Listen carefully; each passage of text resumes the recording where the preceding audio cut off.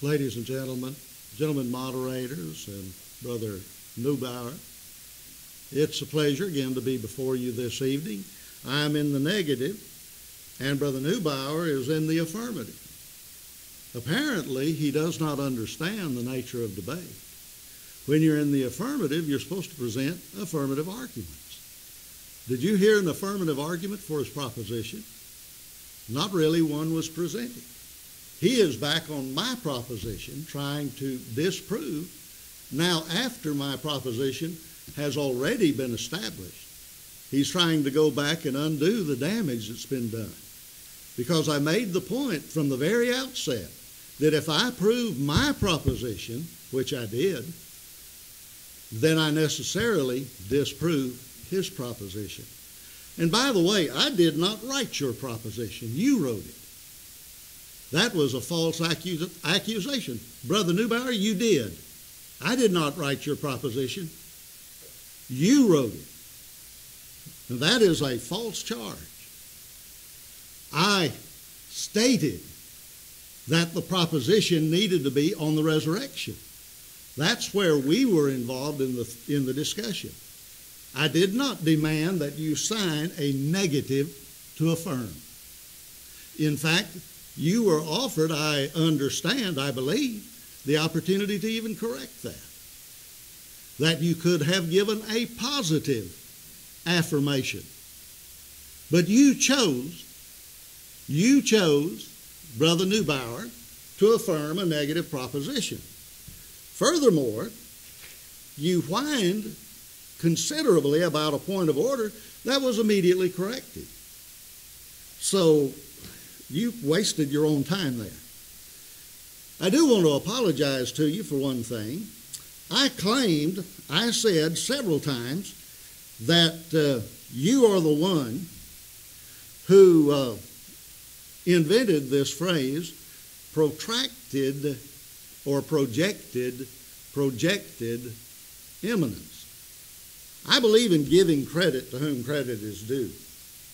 Really, it was Don Preston in 2006, your mentor, who created that phrase. And I even have an article that uh, sets it out. Notice what it says. Notice the statement uh, that he makes here. He is looking at uh, Deuteronomy 4.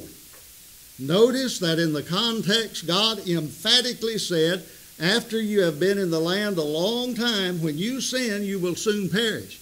This is a prime example of projected imminence. Now, watch this, and I emphasize it as I call it.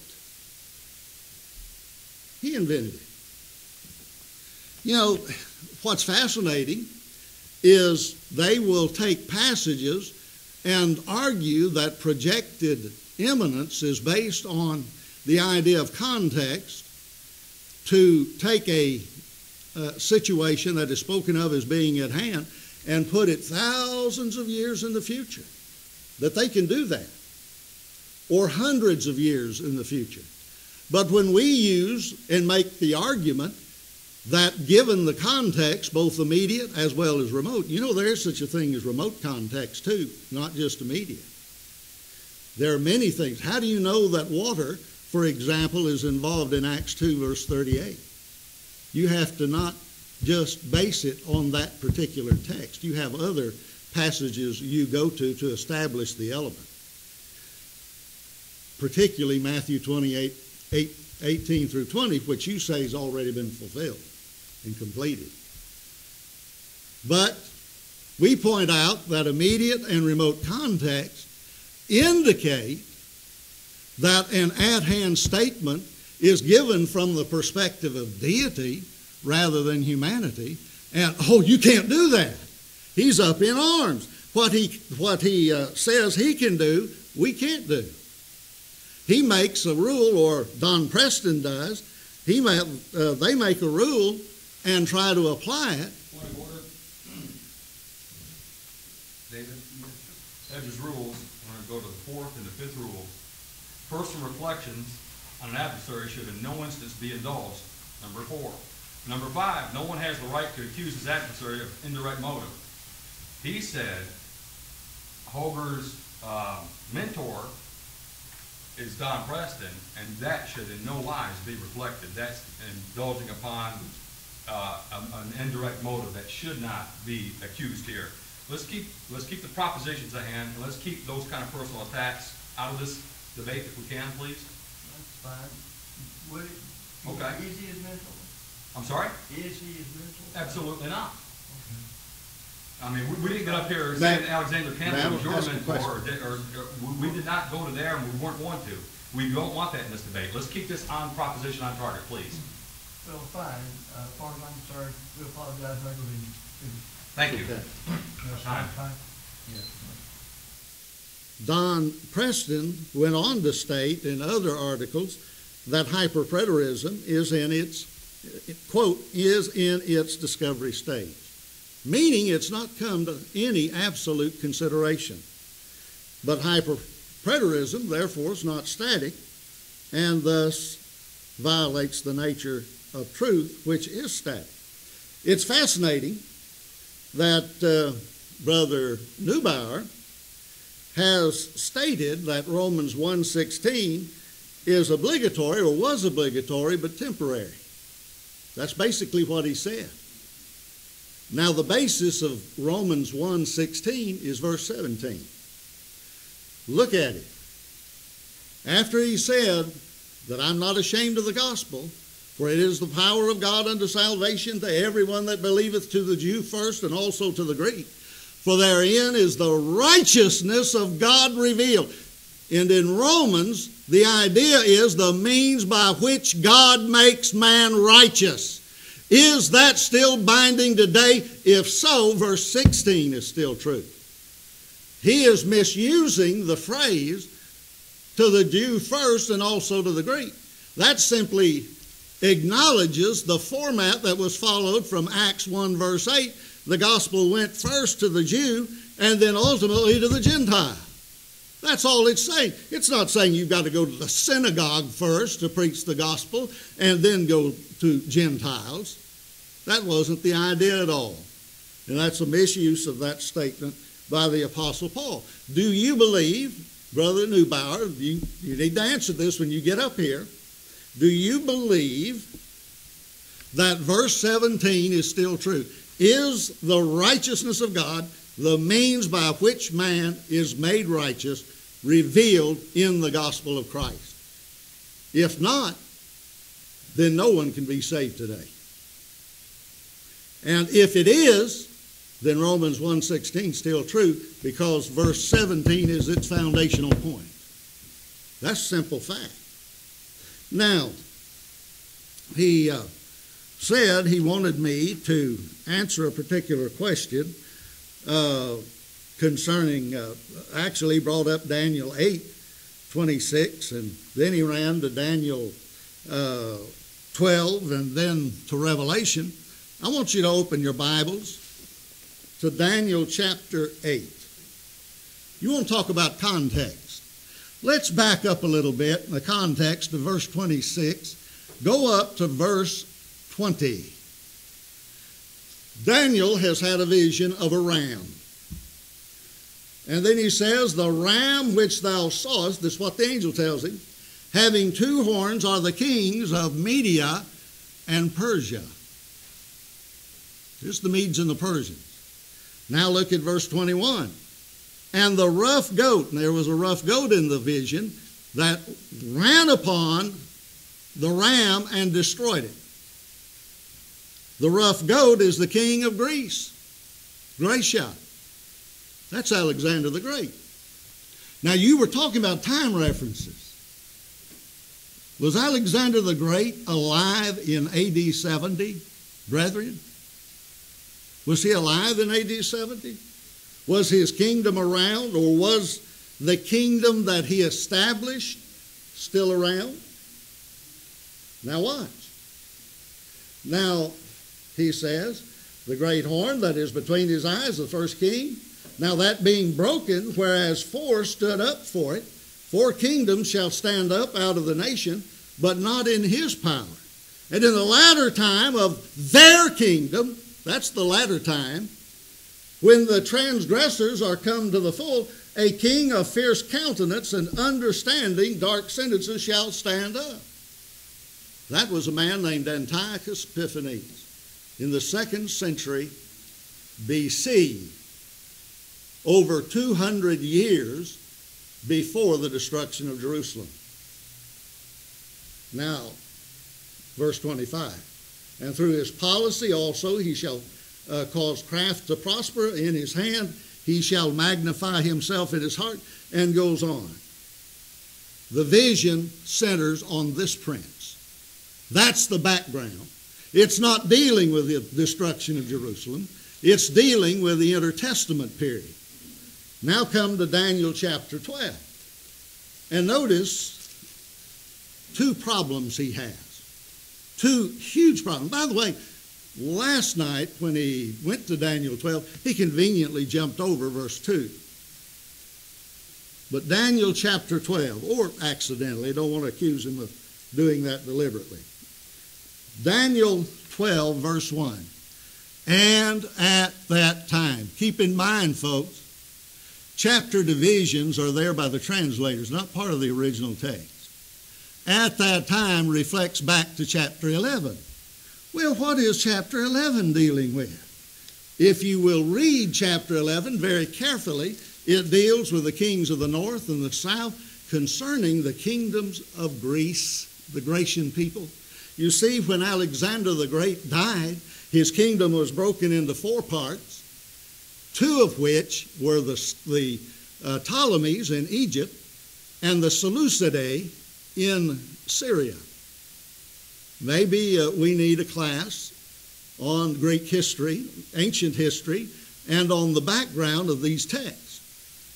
A text taken out of context is a pretext. Daniel chapter 11 gives a very striking picture of the conflict between the king of the north and the king of the south during that intertestament period. And so it is at that time that Michael, who sta- shall stand up, the great prince who stands for the children of thy people. At that time, this is the historical connection of Daniel chapter 12. And I want to ask Brother Neubauer as well, since he likes to ask questions. I'll ask him this. Is Daniel 12 totally, solely concerned about the destruction of Jerusalem in AD 70? Is that what it's concerned about? Is that its total uh, contemplation? For a second thing, notice Michael, the archangel here, stands for thy people, talking about the Jews. Michael is fighting on behalf of the Jews. What he needs is Michael destroying the Jews.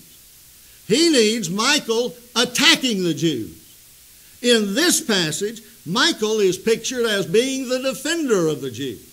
And he was against Antiochus Epiphanes. We need to get the facts straight. There's also another problem. You know, the siege of Jerusalem, the actual siege, the war began around 66 AD. The siege of Jerusalem itself didn't start until February of 70. It ended either late August, depending on which chronology you follow, or early spring, uh, early September, mid September, uh, 70 AD. According to historians, and according to, for example, Philip Schaff is one who cites this, the daily sacrifice that was not uh, ended until July of 70.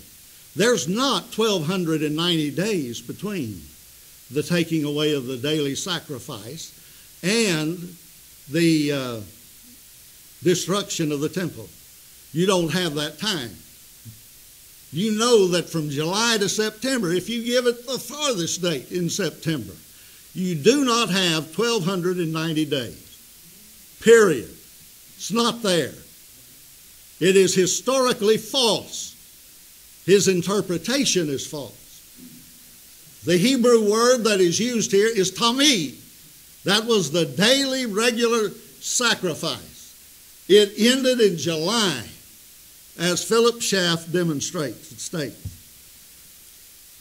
But guess what? Amazingly, the sacrifice that uh, at the time of Antiochus Epiphanes, who also desolated the temple and desecrated it, that at that time, the sacrifice was ended 1290 days before before its cleansing. What an amazing fact that we have. Antiochus Epiphanes is the one who fulfilled the last part of Daniel chapter 12, not, not uh, General Titus of the Roman army. Keep in mind, the Jews again were destroyed. They were defeated in AD 70.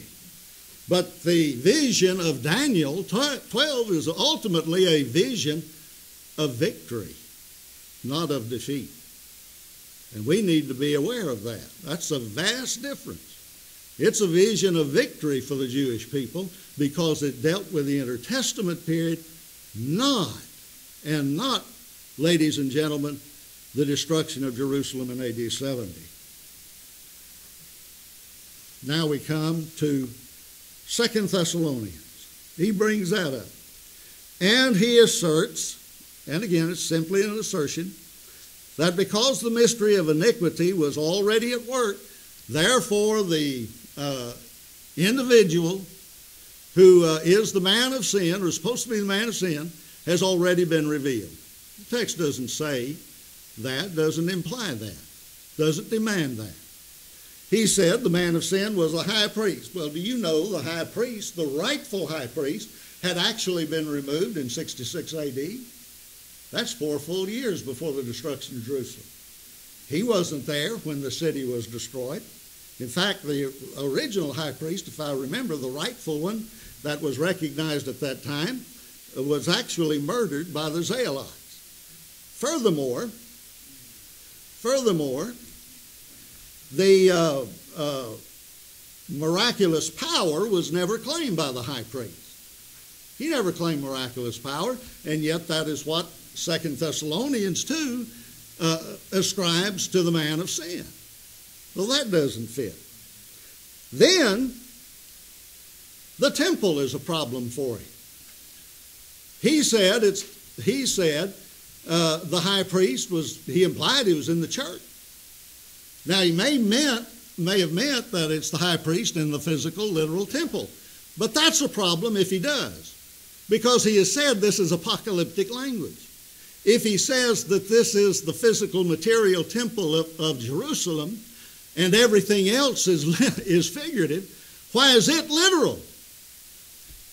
The text says that the man of sin sitteth in the temple of God, showing that he is God. Well, is he literally God? Or is he a phony? I suspect that what we have here and what I submit is a figurative use of the phrase the temple of God. Just as the phrase showing himself as God is also figurative in a certain sense. He is not, he is not the real God, and he is uh, one who would uh, lead a false religion. Is it the Pope? Could be. Could be any number of people. The Bible simply has not revealed that. Why? Because the man of sin's not been revealed. He has made an assertion that he has, and uh, the text just doesn't support it. All the text asserts in verse uh, back in verse uh, verses uh, three through six is that there must be the revealing of the man of sin before the second coming takes place. That's all. That's all we have. And he is trying to read far more in there. And all these other passages he's tried to tie in 1 Kings 10 14, Isaiah 66 15 through 18, all by assertion. I believe every one of those passages. But they do not apply in the way that he tried to apply them. Let him make an argument on it. A real, genuine argument. This man studied under Thomas B. Warren and Roy C. Deaver, two of the most logical uh, men in the Brotherhood, best logically trained. And he knows or should know how to make a formal, proper argument. He hasn't done that. He didn't do it in, try, in trying to attack uh, my own proposition for the first two nights. Keep in mind again, he was supposed to be in the negative those nights. He tried to take over the affirmative. Now that he's in the affirmative, he wants to be in the negative. He's topsy turvy on this. Turn completely around. In Revelation chapter 1, verse 7, the Bible teaches, and this is on the proposition of the resurrection. The Bible teaches that when Christ comes again, every eye shall see him.